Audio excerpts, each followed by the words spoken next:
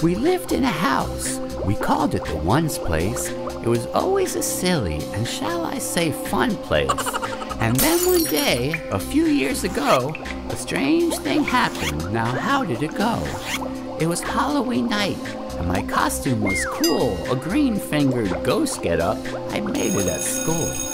I picked up my pumpkin, it was plastic, of course. I called down my sister, she was dressed as a horse.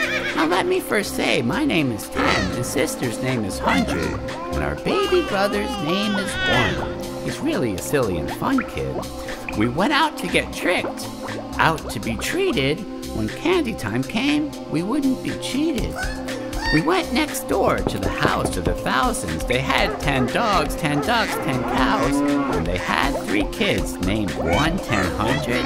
And that made me think as I stood there and wondered same names as us. Why weren't they named Brenda or Russ?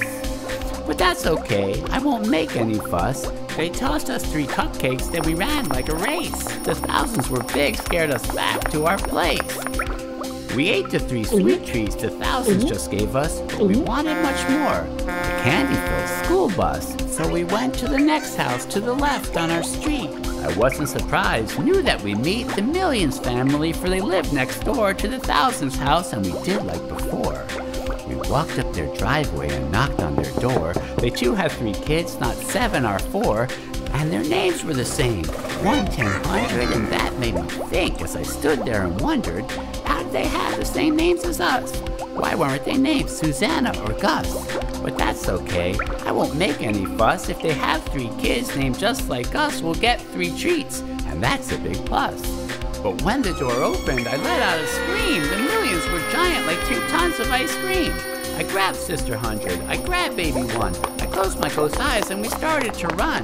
We ran from the millions, we ran past the thousands, we ran past the dogs and the ducks and the cows, and we finally got back to our little one's place, and I felt like we finished a 10 mile race. Well, we got back in our spots, time to go sleepy, and dreamed of the millions so big and so creepy. And that's the true story of my Halloween math. I hope you don't get lost on that same scary path.